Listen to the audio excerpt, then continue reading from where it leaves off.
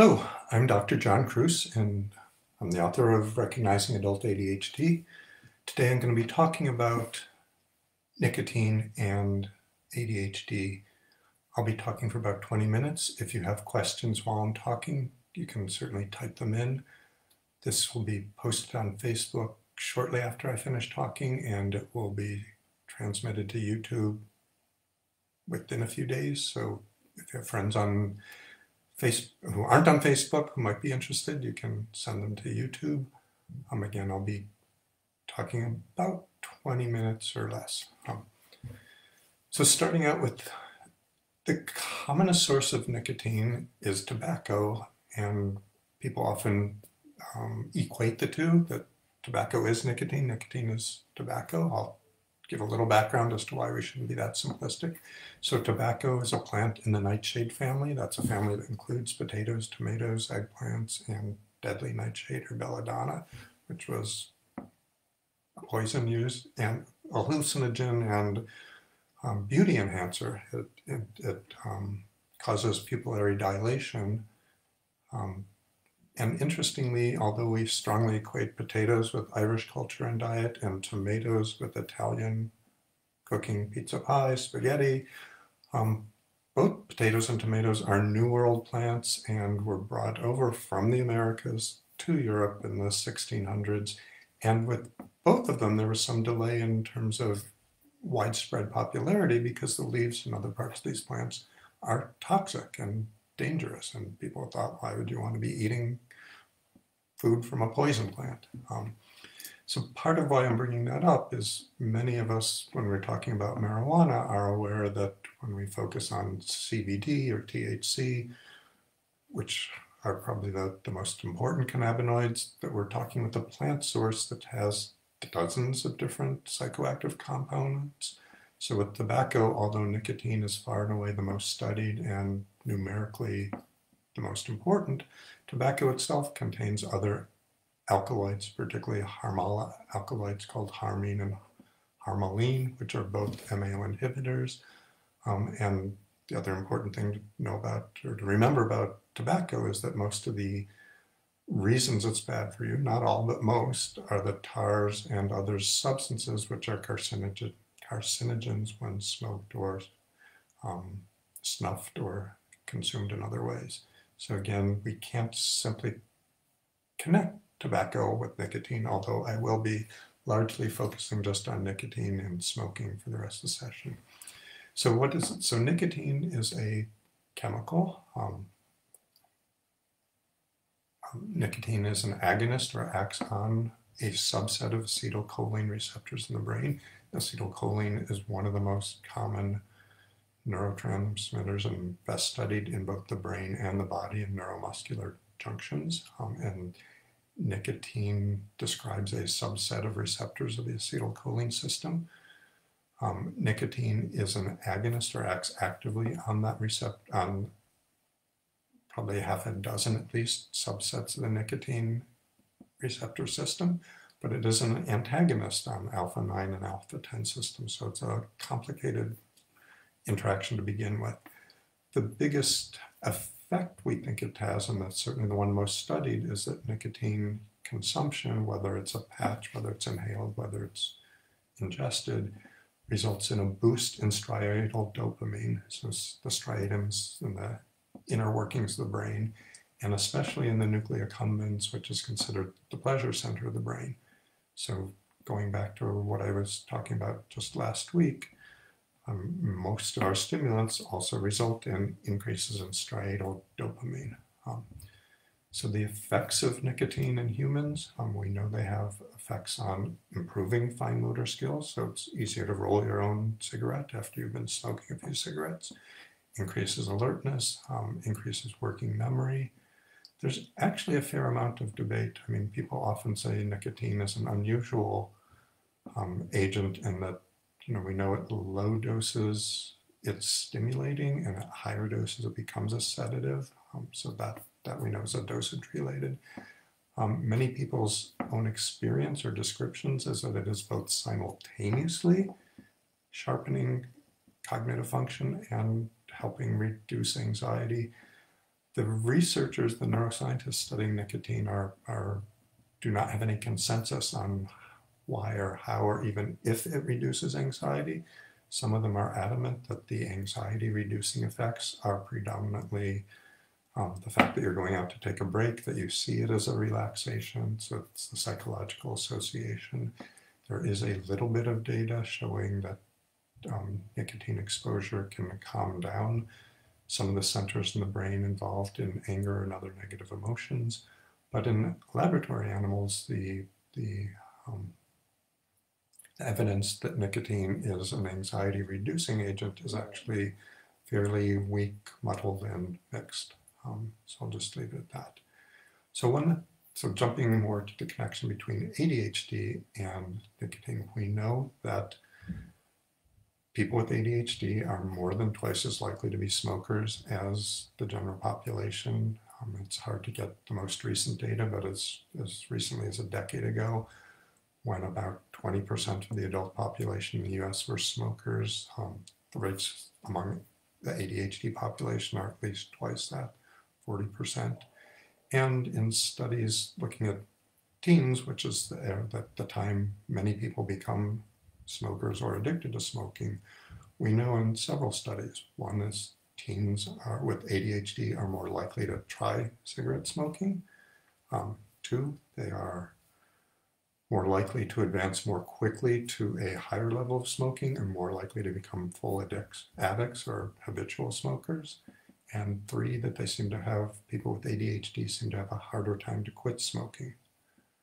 Um, there's also a fair amount of data with a few exceptions to stud of studies, um, some refuting this, but, but I would say the bulk of the studies suggest that being on ADHD meds, being on stimulant medications, actually decreases the rate of smoking to close to the background level.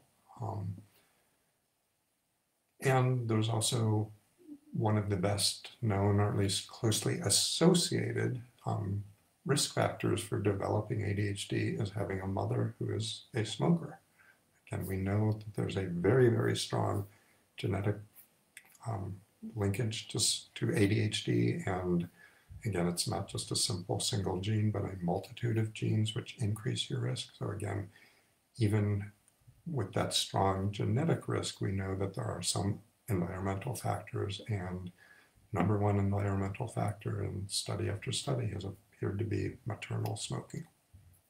So why is there this strong connection? So there's sort of four main hypotheses, and there's good evidence for all of them. They probably vary in how important they are, but one is the self-medication hypothesis. Um, so that people with ADHD are smoking because it's treating their symptoms. And that, I, will I'll sort of jump to the conclusion that seems to be, there's the strongest evidence for that claim. Two, um, that there's factors of having ADHD that contribute to smoking, so be it both inattentiveness and impulsiveness, may increase your likelihood you wind up smoking. Um, and again, nicotine is a highly addictive substance, so just getting started means that more you are quite likely to run into problems with it.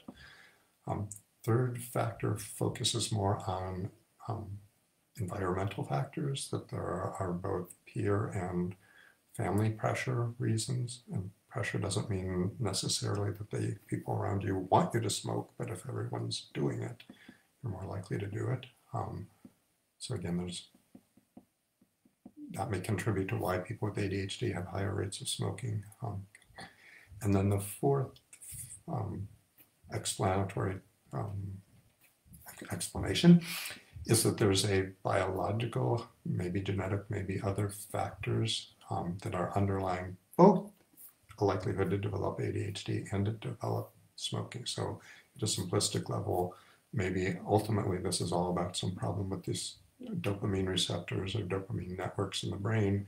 And those dopamine problems both increase your risk for ADHD and increase your risk for smoking.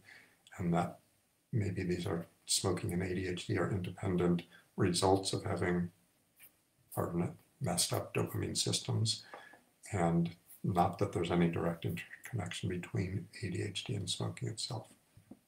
Um, so the self-medication theory, um, our explanation rests on a rather robust body of data showing that ADHD is treated by nicotine. So again, measurably, nicotine does increase alertness on a range of tests. It also seems to increase um, or decrease impulsivity.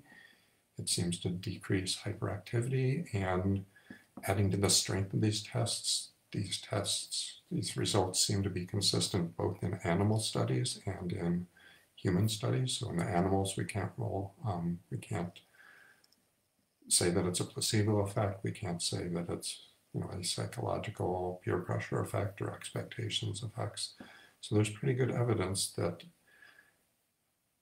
smoking does smoking nicotine specifically does seem to help with a pretty broad range of ADHD symptoms and other um, supportive evidence for that is that other nicotine analogs, so other agents that work on those nicotine receptors, including um, Wellbutrin, which is an antidepressant, bupropion is the generic name. It's used for, again, it's ADHD, or it's FDA approved for depression, for smoking cessation under the brand name Zyban, but it has measurably performed well in a number of studies of both children and adults with ADHD.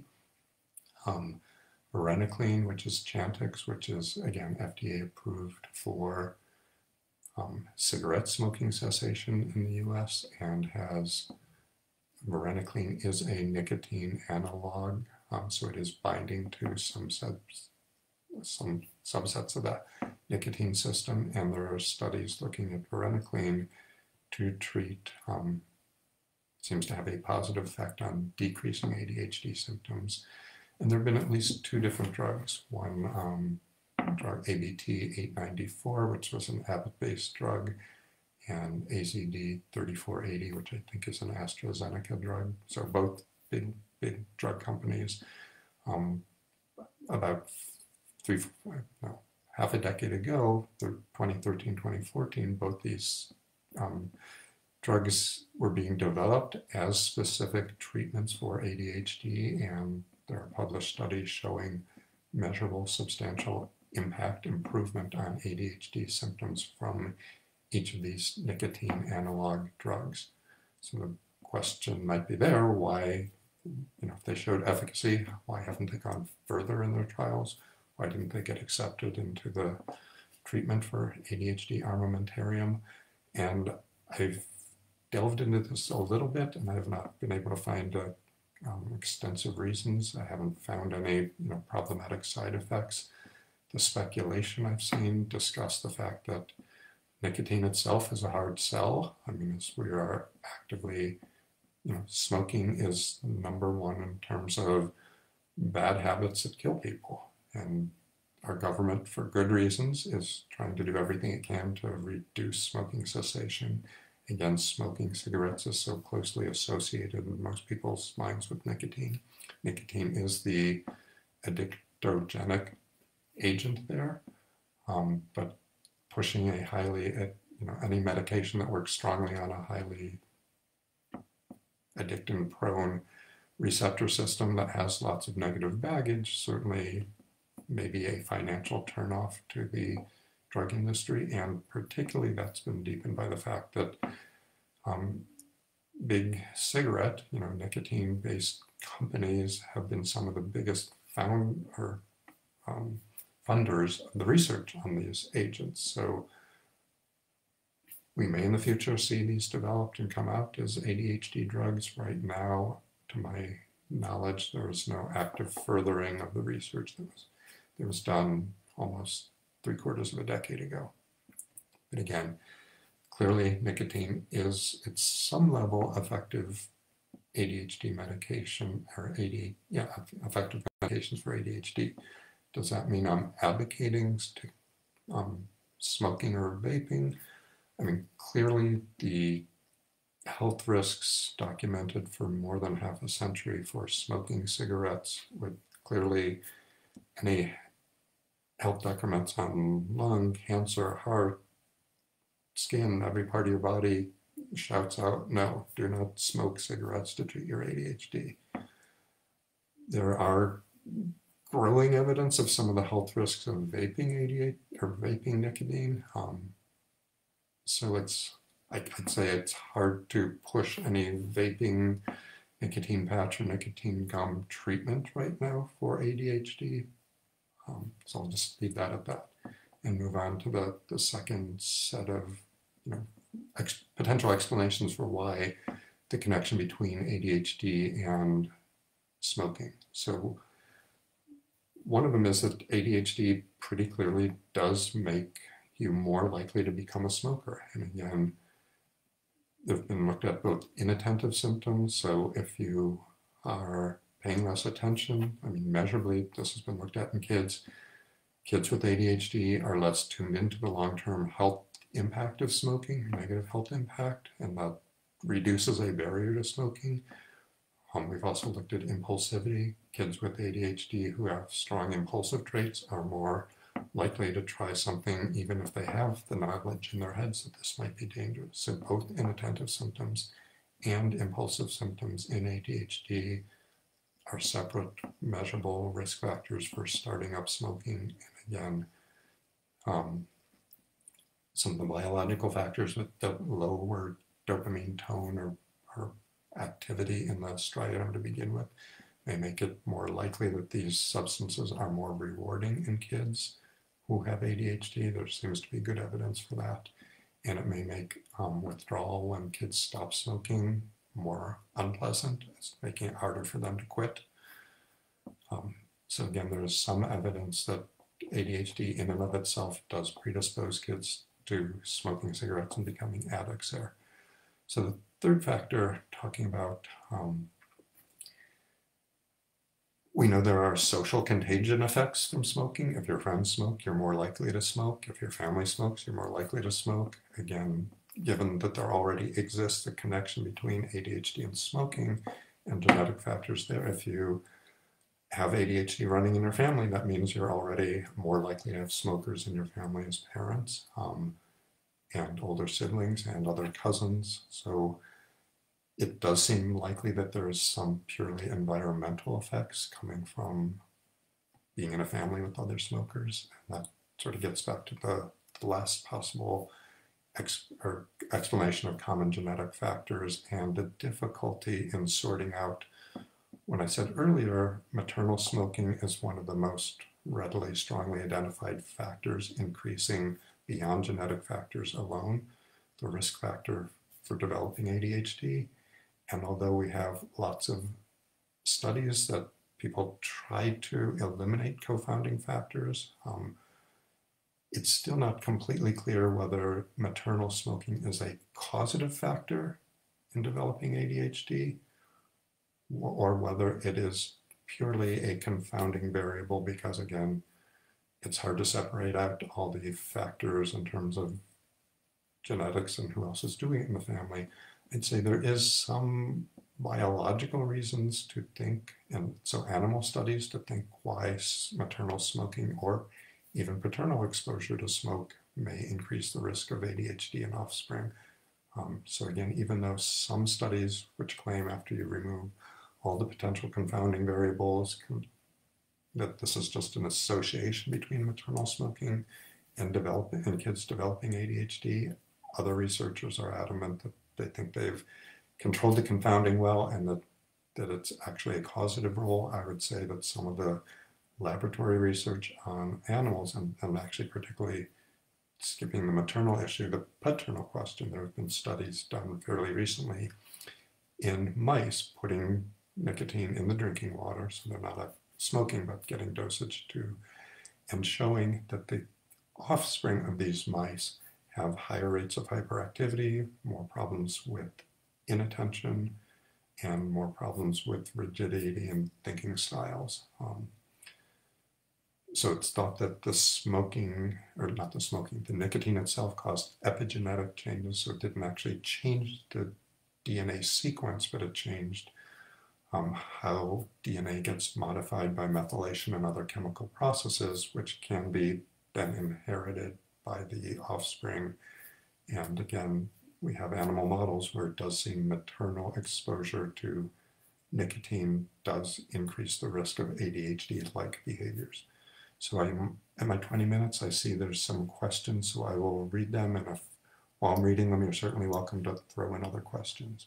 Um, so Daniel is saying, what I noticed after years of running smoking cessation groups is that the act of smoking brings you into the here and now very quickly, compressing time in your awareness, which brings your thinking back and out of the stress thinking. It relates to cognitive behavioral ther therapy theory. Then there is all the physiology, which you covered brilliantly. So again, so um, and he also mentions he's learned to not push smoking cessation on my patients who are on antipsychotics. So he's bringing up another, again, confounding factor. So ADHD or smoking is not just overrepresented in people with ADHD, which again, at least twice the background rate of the general population, but this is also true in people with schizophrenia. Um, there's less clear-cut data in depression, but there are a number of mental health disorders where smoking is overrepresented. And again, some of it is almost certainly physiologic predispositions, and there probably also are psychological aspects to it. Um, and again, as Daniel points out, that many people's experience of smoking, particularly with ADHD, is that they are calm, they are focused, they are in a different mental space, more able to get away from evil thoughts and places, and that may be particularly attractive to people with ADHD who have trouble managing the flow and control of their thoughts. Um, so I'm not, so thanks for the question. Thanks for the feedback. Again, this will be posted on Facebook and within a few days, I believe, on YouTube. Um, I stay safe and stay well, particularly in these very crazy times. Um, next week, the topic is going to be um, the appropriateness or accuracy or what is this about making armchair diagnoses of public figures or others for specifically mental health diagnoses. So that will be a maybe more controversial than the sun smoking. So thanks and have a safe and healthy, happy week. Bye.